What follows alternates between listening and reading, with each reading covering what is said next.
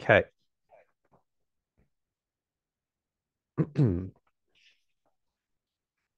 So I'm going to stop here just for a quick minute. Does anyone have any questions um, about extremities, imaging, uh, matching, setting up, etc.? Uh, so Omar, Chris has got his hand raised. Yeah. Sorry. Uh, please, what um in a situation whereby you are you are matching now, like coming to the hip, for example, when the left side is not an exact mirror image of the right side, how do you begin to match? That is when there is when it is very evident that the patient has an impediment on one side of the hip. How do you not match perfectly to get the two sides properly matched? Are you going to make some compensations on their side that is debilitating or what? That's a good question, Chris. Um, I caught some of it. Do you mind um, repeating that question for me? I'm sorry. Okay, you know, you know, the left side of the body can be seen as the mirror image of the right side. Now, what in this in an instance where you are talking about matching perfectly the hip, the ischium on both sides, and when if probably the left ischium is having a challenge, so you then how do you now perfectly match, though you have properly matched with the right? Are you going to have like fillers you're going to put there or compensators on the other hip that will make a kind of image that will compensate for equality before you can make a perfect match? Um, there's a couple different things you could do. So if you're treating the entire pelvis, um, and it's kind of hard to see, and like you're treating the left side and the right side, and um, one of the things that we can remember is that when we take an AP film, that's used to establish our left shift and right shift in supine. Um, our lateral is to set the depth or ant post. So on the AP view, if we're seeing that the hip is maybe crooked or there's some issue on one side, but the other side is matched, this is a good time to go into the room and move the patient and refilm. So you can adjust the right leg um, to, to help get everything into position. Now, when you're filming, and you put everything on the AP and then you take uh, a lateral and, and they're kind of side by side, you can either do an on demand at a slightly different, maybe five ten degrees off that 90. And that will help you see both sides a little bit more clearly. Now, if you do take a 90 degree or a lateral at 270, sorry, pardon me, uh, a right lat or a left lat, um, there is a tip that you can use to help determine which side is which. So um, when you take an image, you have the generator and the imaging panel. The x-rays come out of the generator, go through the patient, and hit the panel. The longer distance the x-ray travels, the more scatter is involved, which means when it hits that panel, it's going to be farther away from the center. What I'm basically trying to say is that the side closest to the generator will always appear slightly larger than the side closest to the imager panel. So if you're seeing two femurs, two leg bones, the leg bone that is appearing to be slightly larger is the leg bone that is closest to the generator. So if you have a supine head first patient and you're taking a right lat, the right femur, the bone is going to appear slightly larger than the left femur and this is due to the scatter and the distance. So that's that's a little um, trick that you can use if you're matching and you're trying to figure out which side is left, which side is right, and they're overlapping. That's a really great answer, Omar. I just learned a lot from from listening yeah. to you. Then, thank you for that. Um, You're welcome. We've just got a couple of other questions um, before we move on. Um, so if we're matching in offline mode, um, would you recommend auto matching or manual matching? Um, I don't like auto match at all. um, the reason is because it, you know, matching manually always keeps me focused. It keeps me proficient. And auto matching, I think a lot of times therapists, when they use it over time, it makes them complacent. Um, they just kind of click, look at it real quick, and move forward. I like to engage with the film and look at everything. So, um, but everyone's different. And um, so I actually don't like, and I recommend new therapists stay away from auto match for the first couple years. Um, learn the contours, the structures, learn to look at everything all together. Be, you know, do it manually, become really good at matching. And then once you become um, seasoned and, and a veteran, then if you want to use auto match on certain cases, you know, go for it. It'll, it'll, it might save you some time, but I prefer doing manual matching. Perfect. I think that's really great advice. Thank you. Um, and another question, uh, if you're taking oblique images for extremities, uh, do you mean that you just only take a single view? There, yeah, there's there's two different ways to do this. So um, you can either have paired imaging at an oblique. So if you do on demand on a TrueBeam, the cool thing about that is you can actually add KV MV, KV KV, or, or you know, etc. So you can take a orthogonal pair that's sort of off axis, maybe 10 degrees, five degrees, whatever you want. Also, if you want to maybe just take one view, the lateral, to kind of figure out what leg you're looking at, you could take a single image and set your depth. And so you can just hold shift one, and we'll go over that later. Shift one and dragging the mouse on the film will isolate your ant post shift, which means your couch will only move ant post. It will move nothing else. Uh, if you don't do that, it'll probably apply a lateral shift because you're at an angle, your film. So um, it's possible to do that.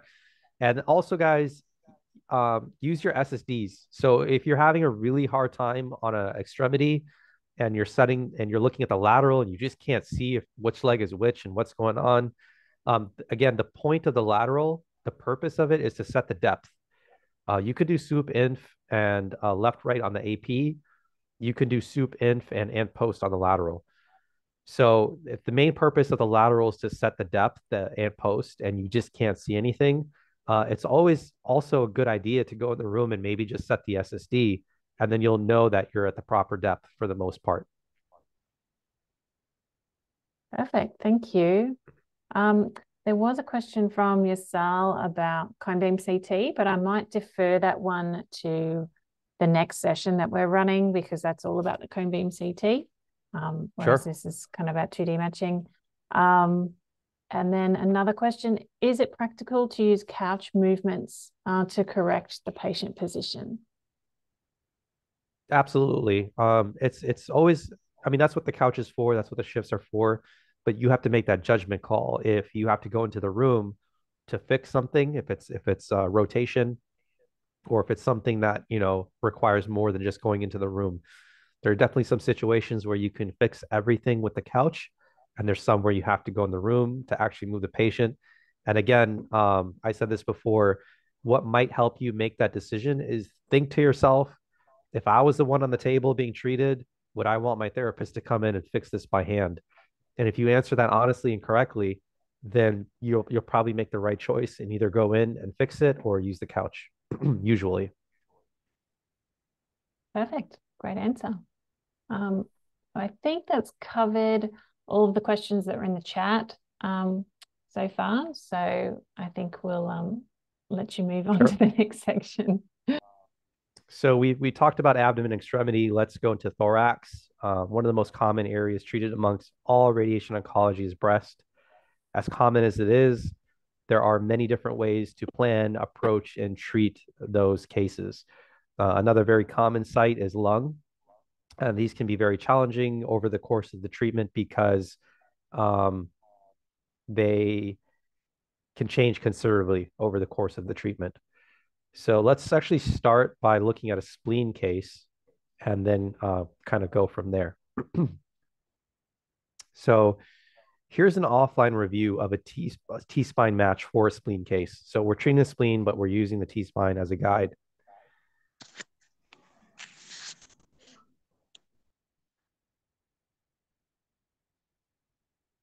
So as we review these images, um, how can we be certain that we're in the correct vertebral bodies? I'll just go ahead and answer that. Um, we use landmarks. So we have the floating ribs uh, here, which is a, a, good one to consider. So these are um, an indicator of T12, and these can tell us kind of where we are. Um, the diaphragm is pretty clear, but we don't really want to rely on this. Um, we we want to stay away from that because they move a lot and they're going to appear to be different every time we film. So I would uh, maybe avoid that.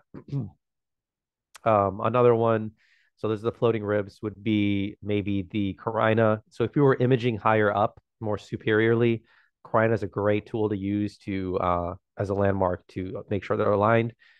And then down below, we can use the pelvic crest as well. So if we had that included. so we can use tools such as the graticule or the ruler to help us decide how to uh, approach adjustments. The ruler here is going to tell us that our, our delta is about six centimeters, which is small, but but decent. So there are a few ways we can apply this in the room. Uh, first, we can simply move the upper body over to the side, but remember um, to pull, never push. I've worked with some therapists that develop the bad habit of pushing patients rather than asking their partner for a pull. It's important to acknowledge that these are people that we're working with here, and pushing a patient into position is uncomfortable for them. But more importantly, it can also move the body in very unpredictable ways. So pulling is always usually a better way to approach that. Um, moving the upper body is also very challenging um, because it often leads to all sorts of positional changes. Some of these include bending the spine, rolling the patient, pitching the patient, maybe changing their clavicle positions, and, and a lot more. And this is partly because the patient is commonly indexed up there, right? So they may be laying on some sort of device like a wingboard, a TIMO, or a Vac-Lok, and sliding them over these uneven surfaces is going to be unpredictable. So I would approach this shift by maybe applying a six millimeter shift up top, so matching to the upper spine. And then I would go into the room and maybe pull the hips over to fix that that crookedness.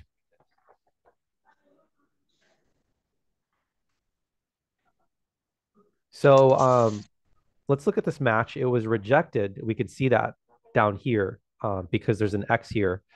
And so uh, the doctor didn't like this for some reason. And so um, let's see here. See why they didn't like it.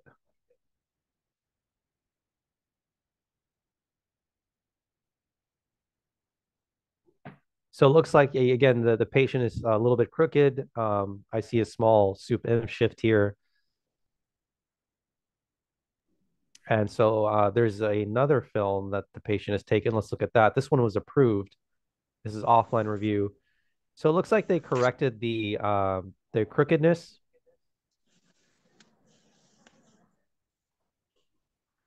And so um, I do still do see another sup shift. So uh, another key piece of advice I'll ask is think about what you're treating. What are we treating? Here it's the spleen, uh, which uh, if the patient still has is going to be enlarged. And um, we have a lot of information here in the film, but we're also missing some. So the splenic region would be kind of around here. And uh, let's enhance our contours a bit so we can see the treatment area is kind of roughly around here. So it looks like we're treating maybe some mediastinal nodes or some nodes running along the spine. Um, so looking at this, I would say this whole area here is information that we probably don't need. And so what we could have done is move the panel for the imager over to the patient's left and then maybe include more of this area here, uh, which would be a little more helpful. So these are kind of things that we can do to think about while we're imaging what is it that we're trying to see? What can we do to highlight the treatment area and maximize our our overall visibility? So uh, it's it's not it's a good thing to do to move the panel over as long as you're including all the treatment site and you're getting good information because we're cutting off the rib cage here. And so that's kind of what I would do there. So I have a question. Um, actually, let's skip that. You guys did a good job answering that earlier, so there's no need to answer that again.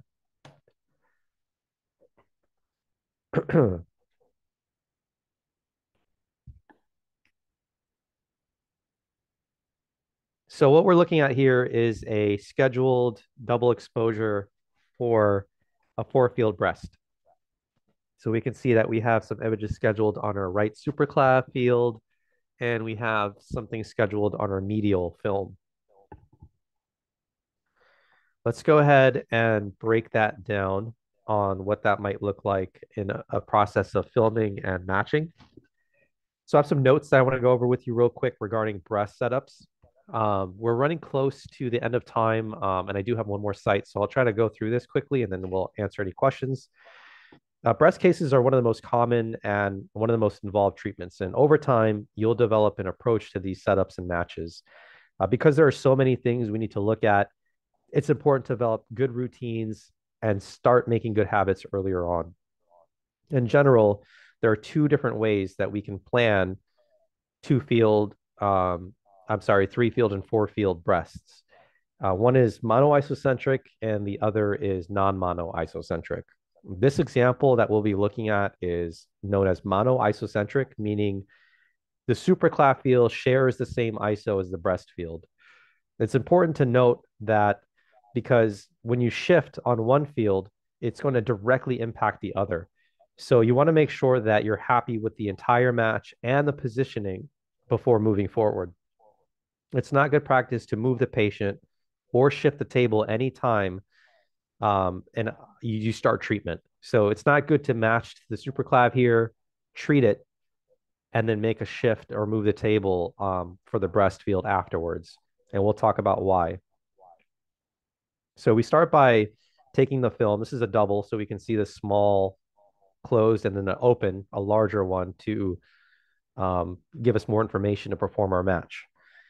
So the anterior view, this supraclav field will allow us to establish our sup to inf and left to right.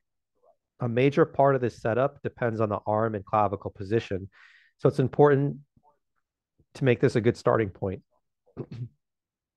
In this example, the therapist took a double exposure. Um, some policies will require you to do that. We talked a little bit about that earlier, but you want to make sure no matter what, you have enough information to do your match. So you want to be able to see the neck here, the clavicles, the humeral head, the, the chest wall, all this, all this stuff is good to know and have uh, to do your match. So um, look at the surrounding anatomy. It's extremely important for these setups they guide us in our match, and we want to make sure that we're protecting them. So structures such as the lung, the humeral head, the heart, the esophagus, protect all of those and um, review them when you're doing your match. So the main purpose is to review the overall anatomy. And if we don't have enough information, uh, this question was asked before, go ahead, refilm. And remember to use those filters that we talked about and uh, the proper techniques to get good good images. All right, let's see where we are. Okay, let's continue. So when matching uh, non-mono or mono isocentric pans like this one, um, there's some principles to consider. So the importance of positioning is greater. This is because shifting the table or moving the patients in between the fields while after they've been treated can create what are called hotspots. And so let's talk about that a little bit.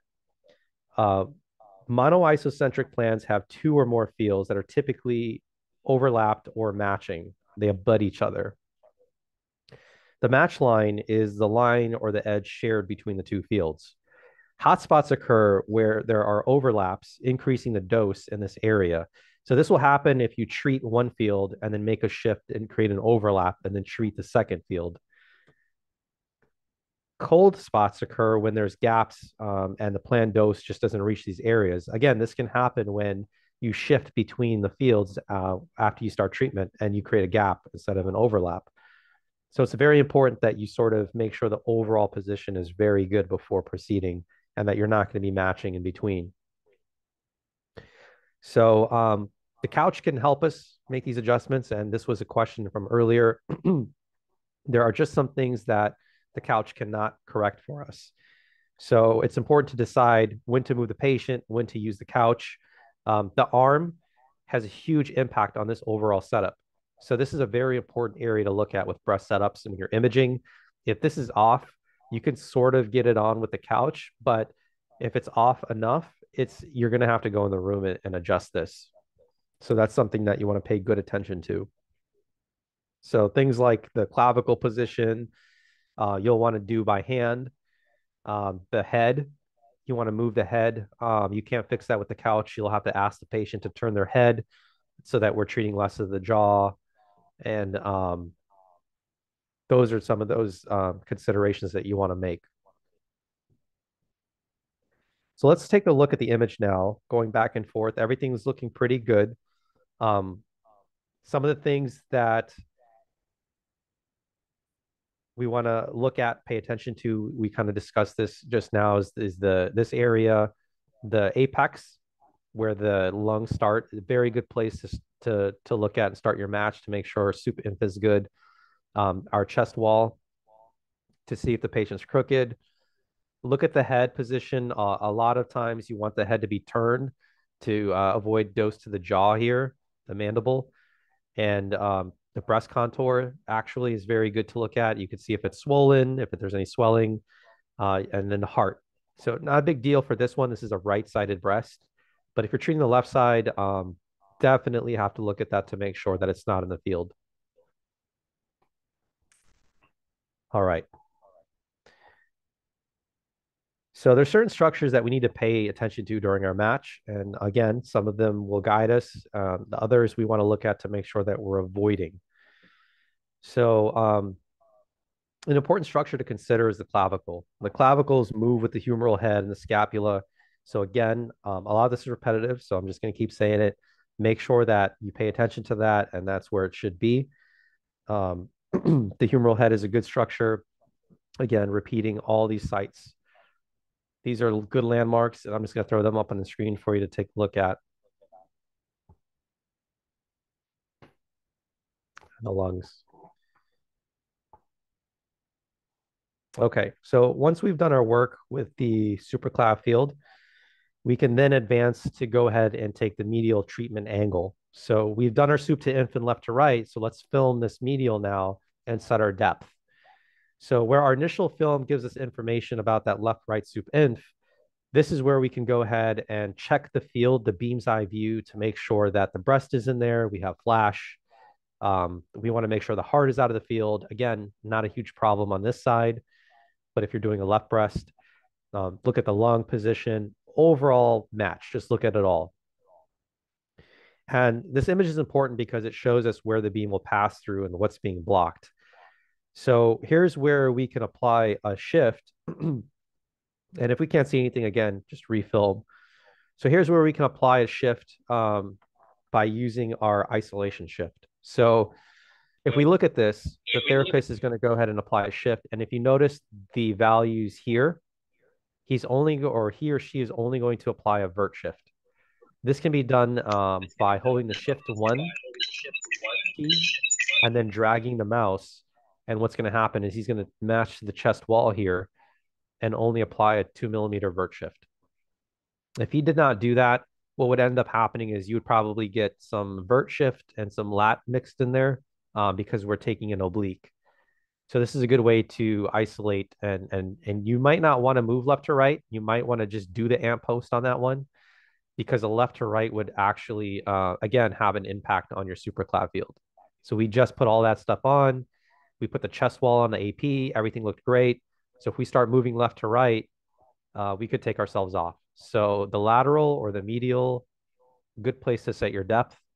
So hold that shift one key to set the depth. Um, also, you can look at these areas here. You can you can do the same with your um, right, left, and sup inf. You can hold these keys to isolate those shifts as well.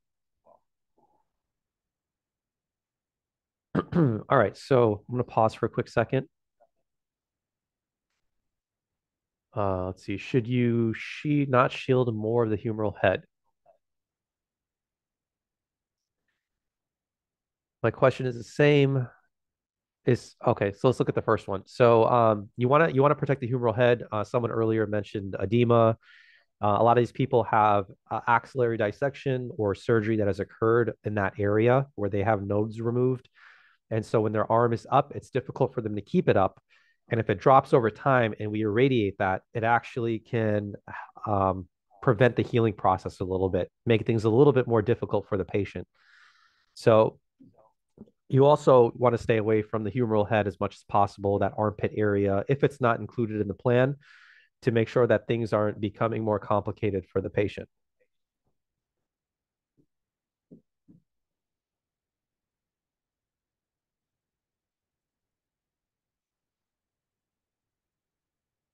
So uh, the second question was sometimes the KV generator isn't working. Um, or so we use MV port and abdomen case. MV results not good. It's difficult to match. Uh, yeah. So again, if you're doing an abdomen with an MV film, uh, you're probably going to see a lot of gas, a lot of tissue. Um, your spine is going to be very hard to find. So some of the things you can do is to look for those landmarks. Hopefully the patient maybe has hardware. If they don't have hardware, just do your best to look for anything that's kind of standing out, like the apex. if you're down in the abdomen, um, look for the floating ribs. I know that's hard to see, but just do your best to look for those. And then always before moving forward, get confirmation from the doctor. That's going to be your saving grace. Um, if you can't see anything on the film, and you know, get a doctor to give you that second opinion and to prove the film before you treat that's my advice to you. Um, don't just go ahead and move forward if you're not sure. If you're ever unsure, follow up with the doctors. All right, so here we have some um, tips, some takeaways for thorax. Um, these are available on the, the handout slide. Uh, can I ask if we should pause or stop, or sh um, should I keep moving forward? Claire? Um, Omar, if you've got the time, um, let's just keep going. So sure, yeah, uh, like it's super interesting. I want to keep going. I'm learning stuff. So as long okay. as it's okay well, with you, um, we will see this through to the end. Sounds okay. We'll talk money again. Uh, no worries. All right, so let's keep moving. So um, here are some takeaways for thorax. I'm just going to go over the basics and then the details. There's a printout that you guys can have. Uh, feel free to look at that. It's on there always check the airway for lung volumes. and this is my advice because I've treated many lungs before and uh, they can change significantly over time. They have surgery, they have fluid buildup, uh, their, their lungs collapse. And what you're going to notice is when you're taking orthogs or, or you're looking at the KVs, KVs, and you're, you're seeing the bone, what you're never going to see is what's going on with the lung. And so one of the things that will help you is if you look at the airway contour and if you check your film, you can apply a filter that will show you airway very well. And so if you see the airway is off to the side for some reason, that's a good indicator that something has happened with a lung. Either it's collapsed, uh, maybe some fluid got drained, maybe it's responding to the tumor. And so that is your trigger to do a cone beam and say, hey, like something might be going on inside. Let me take a cone beam to verify. That's happened to me uh, many times, and I've caught many many changes in the lung. So when you're doing lung matches and thorax, uh, my advice is to always look at the carina. It's, it's a good good thing to do. Window level, um, again, when you're doing thorax cases, if you're doing a breast or soft tissue like the lung, window leveling can be amazing and filters also. You can actually see the tumor in the lung on an AP view sometimes um, just by using window leveling and uh, applying a filter. And then again, for breast treatments, just a couple things. Look at the arm position, avoid moving the patient between treatments if it's a mono isocentric plan. Uh, for spines, use those landmarks we talked about. Um, someone asked a question earlier about breath hold and gated. Um, if you want to ask a question now, I'll be happy to answer it. But essentially, um, with breath hold or gated patients, you do want to review the diaphragm. So before you didn't, because that was a free breathing patient, a right sided breast who's probably just breathing through the treatment. But when you are working with a patient who is holding their breath, their diaphragm becomes a little more static, stops moving a little bit. And you want to use that to confirm the proper breath hold. So if the patient's breathing deeper, um, their diaphragm might appear to be more inferior. And if they're breathing shallower, it might be uh, appear superior. And then you can actually coach the patient based on your images.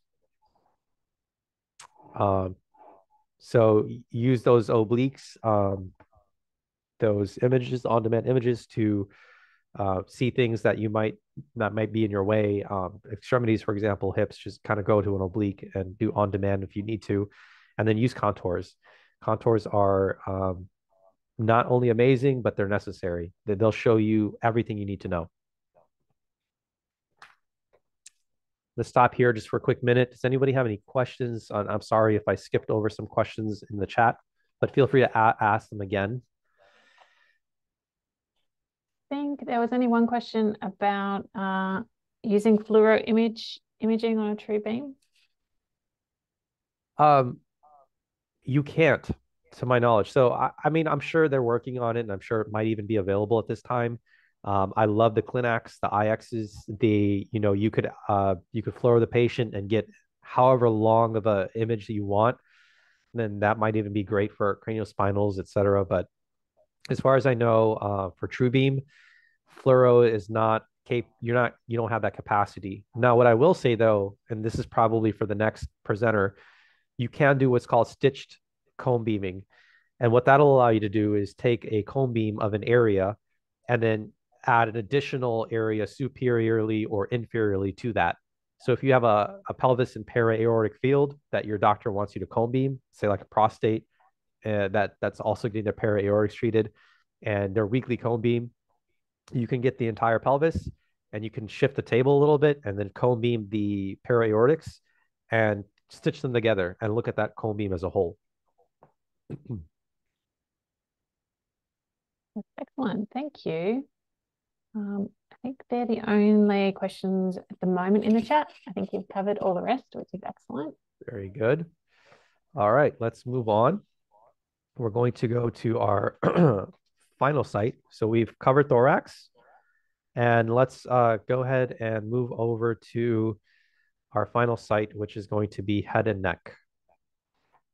Uh, head and neck is is very complex in that there's a lot going on in such a small space. There's lots of nodes, muscles, vessels, glands. And so um, I call it a sensitive site or a delicate site.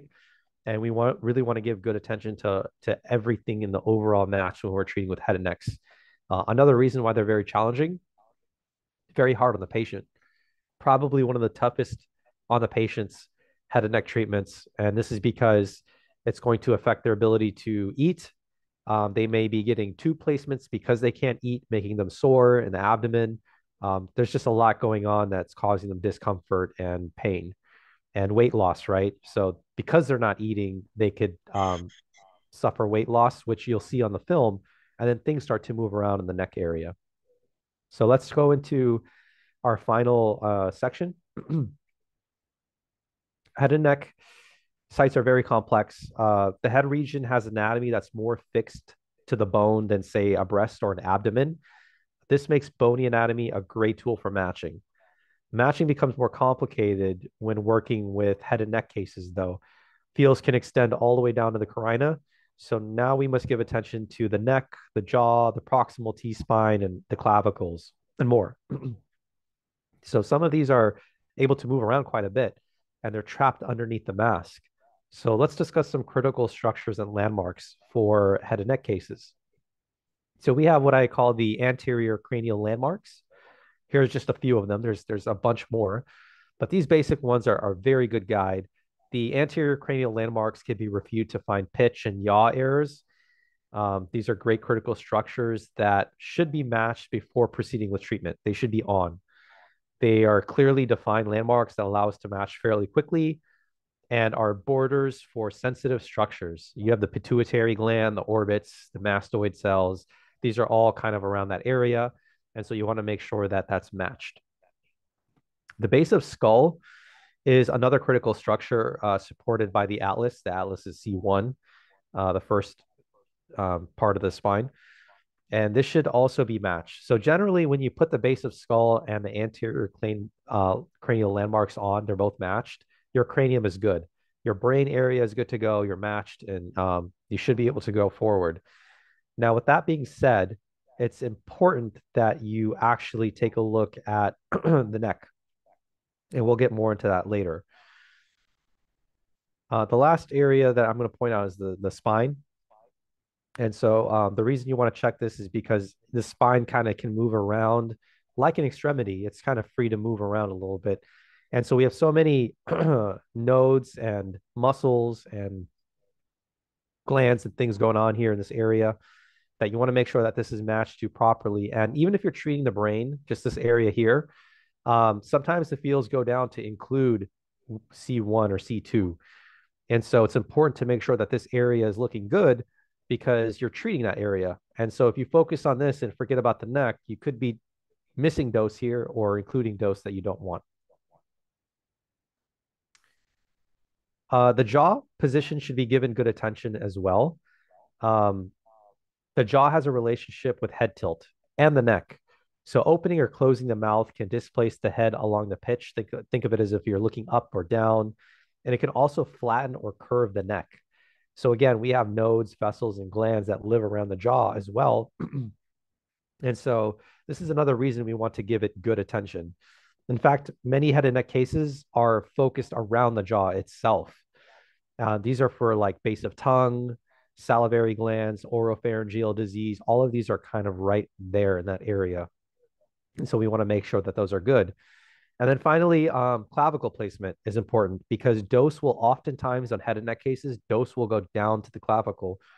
So there's some nodes there that we want to treat, and you want to make sure that the clavicle is in its proper place.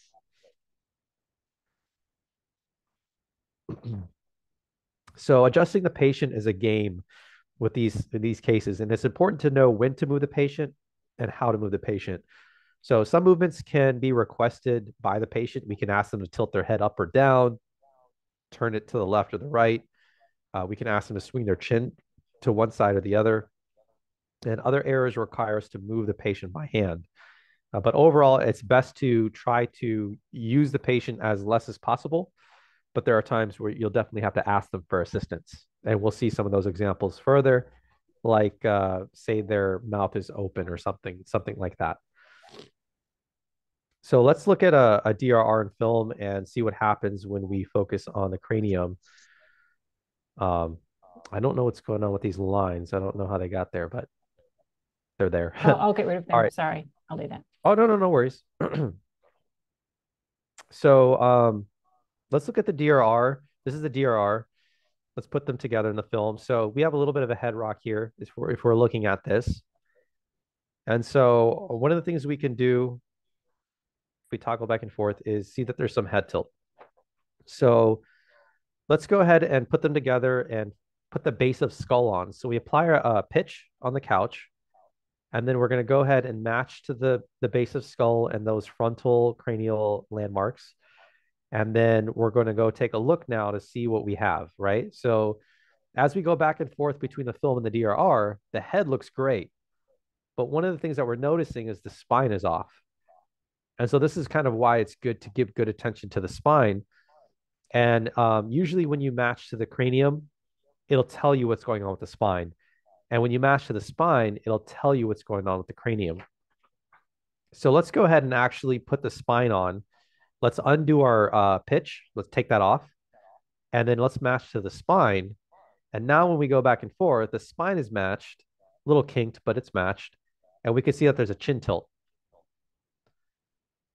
So as you're working as a therapist and you kind of gain that experience, you will decide when a patient when to match the neck, when to match the cranium to kind of tell you what to look for, you know, and, and you'll you'll discover what's on and what's off depending on how you match. Your technique will become a little more robust. But here uh, we could see that we simply need to maybe tell the patient to bring their chin up, and that may fix that area. So let's uh, go ahead and look at this. This is a lateral view of a match, and this is an example here. so this is something that can't be adjusted using the couch. So the spine is matched, and as we're kind of toggling back and forth, this is an example of a chin tilt that we find. And this is kind of what we were looking at before. So here's an example. Uh, we could simply ask the patient to tilt their head And so here's uh, another film after they made that adjustment, and we can see that it's much better. But here we see also uh, a jaw adjustment that needs to be made. So here uh, we probably want to ask the patient to close their jaw a little bit. And then once we do that, we can see that the match overall is better. Even the spine and the base of skull looks uh, better. here's an example of um, a lateral where, so we're treating all of this here. Obviously, we have all these clips here, post post-op clips. And so here, this whole area is obstructed. We can't see anything. And this is because the patient separation is so great that um, it's all becoming washed out. So this is an example of if you did want to see something down here, uh, you could probably make out sternum a little bit. You could increase the energy to kind of penetrate this a little more. Uh, my advice is for someone this this large, I would probably take an oblique if I needed to see something down here. For this case, you probably have uh, plenty of information to perform your match. but again, if you had some contours to look at that maybe outline the sternum, it would give you an idea if you if you were in the right spot down here. All right, so let's take a few moments to review this one. And um, I'll, I'll take some questions real quick. And uh, you guys can let me know what you think needs to be done to correct this.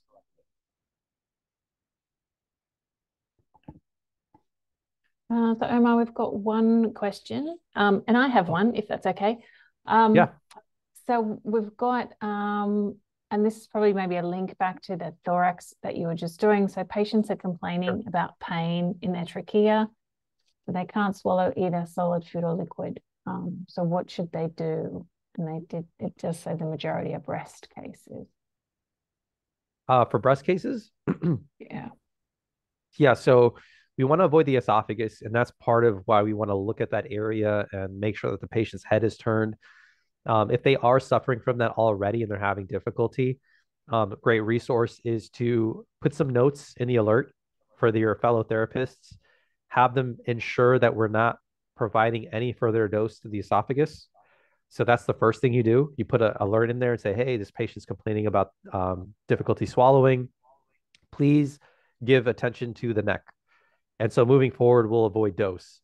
To deal with that problem with the patient, I would also refer them to the nurse and um, also let the doctor know. So usually for these patients, they see the doctor once a week. And so what you can do is you could tell the patient when they bring this up to you is, you know, I'm sorry you're feeling that way. Um, what what I'm going to do for you is let the nurses know, and so we can take it further from there. So they know that you're helping them. And then you can let the doctor know and tell the patient to let the doctor know the next time they see um, the doctor on, a, on an OTV visit. You could also, if you want to go above and beyond, you could look at the films on offline review and see if we've been treating the esophagus. If you've been doing a pretty good job avoiding it, then chances are they could be sick. Maybe there's something else going on with their throat. It's not necessarily radiation related. So um, these are all things that all together we need to kind of investigate as a team. So get the nurses uh, tagged in, get the doctor tagged in, let the patient know that we're looking out for them and that they should bring it up with the doctor, and then let your therapist know to avoid that area when they're treating. Really great advice. Thank you. Um, and just because I'm a physicist and I don't set up the patients, um, and I've just been watching your slides and the, and the shifts that you have to make, particularly around uh, the head and neck stuff. Um, so how often is it an issue with the immobilization device, so the mask, uh, not fitting correctly that's causing these um, disagreements in patient positioning? It's um, it's hard to answer that because um, it's such a common thing that people will tell you it's not an issue. Mm-hmm. But it's it, it's like a hundred percent. With every case, the mask is a challenge, and um, I think for the most part, it's a challenge. But it's it's something that we sort of have to deal with as the nature of the treatment, and so we consider it to be normal. So sometimes the patient's head will be tilted, turned, etc. Their neck is a big one that we have to deal with a lot, very often. And you'll have those patients come in that are just perfect. They'll lay down on the table, their neck will be great, their head will be great but for 90% of the patients, um, it's hard to get it perfect. And it's just because the nature of the mask pushing down on them, um, the their pain and discomfort from the overall treatment and having to deal with their disease. So it can be quite difficult. And so head and necks require a great amount of attention when when treating and responsible therapists should be looking at all of these structures because like I said, you have sensitive glands and nodes and and muscles and volumes in there And that's one of the reasons why head and necks are monitored so closely for weight loss and why also cone beams are quite common for head and necks. You know, it's it's very rare that you'll see um, a non VMAT I uh, you know IMRT head and neck unless there's like a, a lymph node growth on the side or something that we're just trying to hit with static fields. Absolutely. No, I mean, or of of all you guys who have to set these patients up every day for their treatment. Um, it's super impressive. So yes, I will say everyone you. needs a raise. Yeah, give everybody a raise because yeah, they, sure. therapists they do a lot. They are uh, they're amazing and th- there's a lot that they struggle with. So absolutely, give them a raise. Yeah. okay, right. so I, I um, think there's no more questions, so we can move on if that's okay with you. Yep. Very good. So um let's match to the base of the skull. Um, so I asked, you know, how this needs to move. The neck was moving around a little bit, uh, and the head was bobbing back and forth quite a bit. So what that actually tells us is we can't really do much with the head. So we can't ask the patient to dig their head into the table. That's that's not going to work. And so uh, what I would recommend is actually mashing to the skull. So what I'll do is I'll mash the skull for you guys. You can take a look here. So that's on. And as we go back and forth, it becomes more clear that it's the neck. The neck is moving uh, ant post. So we can see that here. So how do we correct for this? Well, when we're looking at the spine, we can either pull the patient up into the mask. And what this is going to do is compress the spine and create more of an arch. So it's going to basically take this and kind of bend it like this a little bit more, create more of an arch. Or we could pull them down. And what that's going to do is flatten their spine. So this is what we want to accomplish, and this is what we have. So we want more of an arch. So what we're going to do is we're going to pull the patient up, and that's what this therapist did. And so once they pulled the patient up, um, the match looked good. So let's just go over some AP view now. We broke it up into lateral and AP. We looked at lateral. So AP landmarks are the orbits, nasal septum, uh, and frontal sinus for the AP view. There's there's many, many, many more, but these are kind of the main ones. And these are good for identifying um, three-dimensional errors. So you could use these to find yaw, you can use these to find roll. And so um, if you're looking at the orbits, let's see here.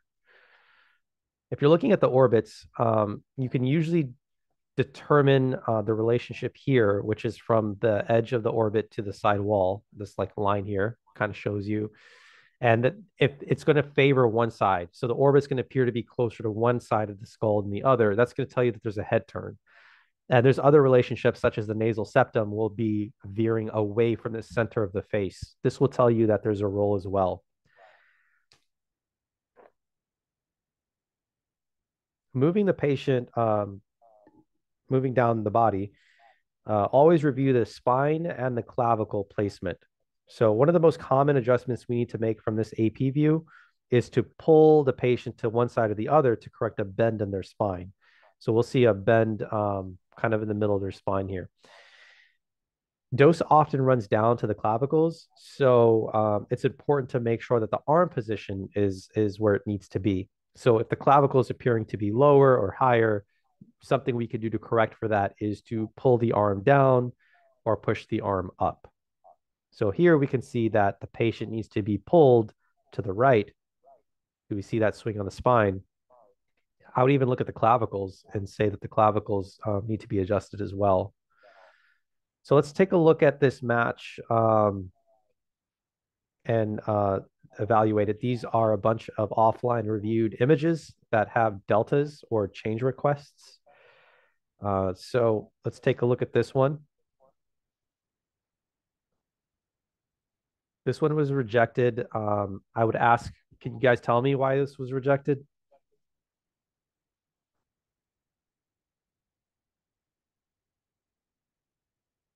Claire, you want to answer this one? Oh, now you're testing the limits. You're testing my limits. Uh, can you run it again? Yeah, let me see if I can run it again. Images.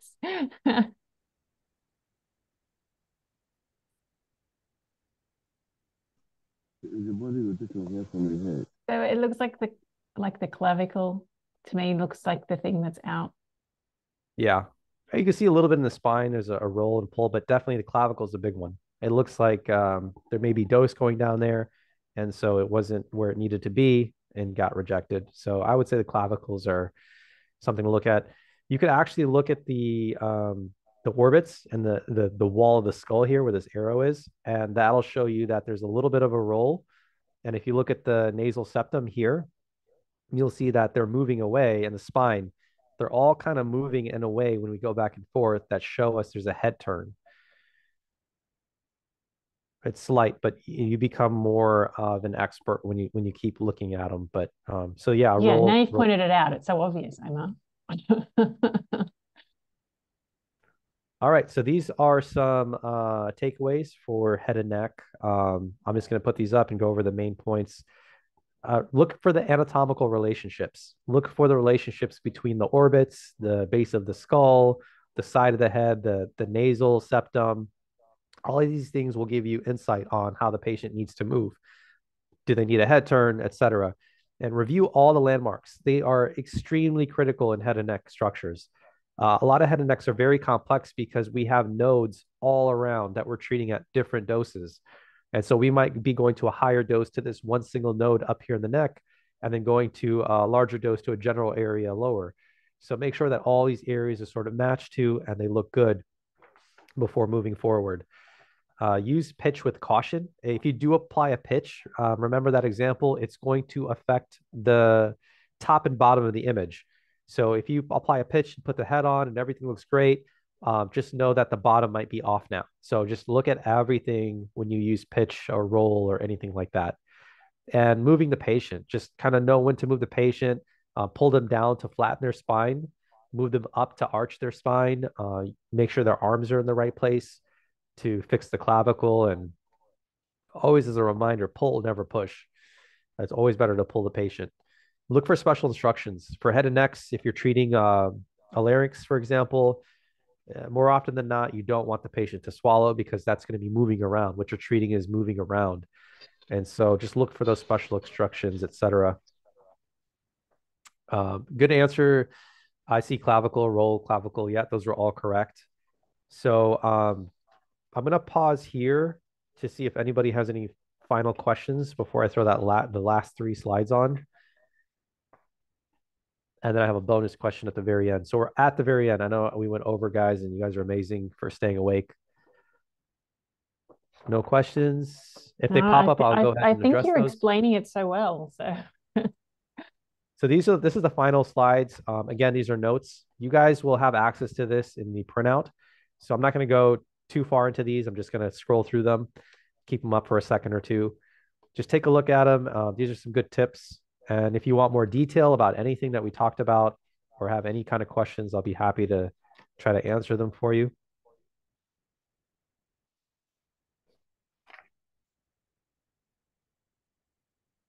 And then I have a bonus question at the very end to ask you guys.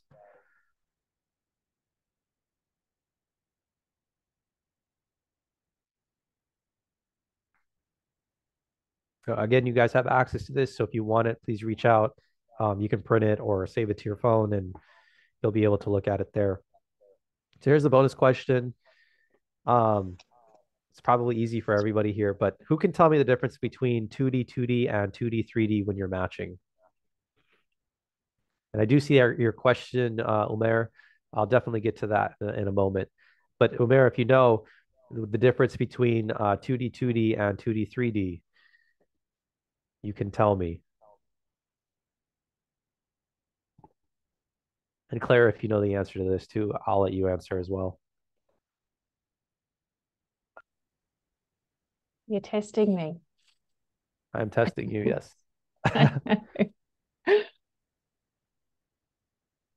I'll let the okay, others have so, it have a guess first. Sure. I'll I'll give it another quick minute and then we'll jump into the answer. Yeah, just type your guesses in the chat, guys.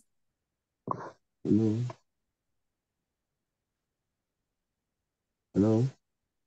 Hi. Dancer. Hi, Chris. Dancer. Uh, when you talk about the 2D, 2D, you're talking about imaging. Chris, it's really hard to hear you. Can you get closer to your microphone? When you talk about 2D, 2D, you're talking about doing an imaging and looking at the image in two dimensions. But when you mention 2D, 3D, you are trying to add volume to it now, making sure you can view from different, in three perspectives, from the lens, from the this, and then from the thickness of the volume to see how they really all go well. Okay. Well, I think I think part of what you're saying is is correct. Uh, it was a little bit difficult to hear you, but I heard some of it. And I see some answers here on the chat, um, orthogonal versus CBT, CT. I don't know if that's those are questions or answers, but we can get into that too. Um, so I, I think I see an answer there. Three 3D is CBCT. So that that whoever that is is onto something. But um, let's explain that. So whenever you take a orthogonal pair and you're matching it and you're online, there is a tab at the bottom corner of the screen where you're matching, and you can actually select um, 2D 2D or 2D 3D. So the difference between the two is 2D 2D will take your two-dimensional AP or lateral that you took, and it will match it with the two-dimensional DRR that dosimetry planned. And so you're working with the 2D 2D match. Um, both images are 2D 2D. The benefit to this is it's a lot speedier to perform your match. It's a lot quicker, and the DRR is already there, and so it's probably a little bit more clear. So this is this is uh, good to use when you are just matching to say bone. I heard that answer out there. Um, I would say this is a good one to use. 2D 3D is a little bit different. It takes your 2D image that you just took on the TrueBeam, and then what it does is it takes a 3D image um, that it pulls from the cone beam, the not the cone beam, sorry, the CT scan that you guys do. So every patient has a CT scan, and so what happens is when you apply a shift and you're matching, it isn't the image that you took that's moving; it's the image, it's the DRR that's moving.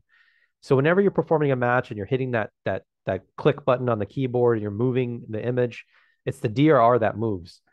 And so when you do 2D, 3D matching, it moves the DRR, but it also updates the DRR using the CT that you did from SIM.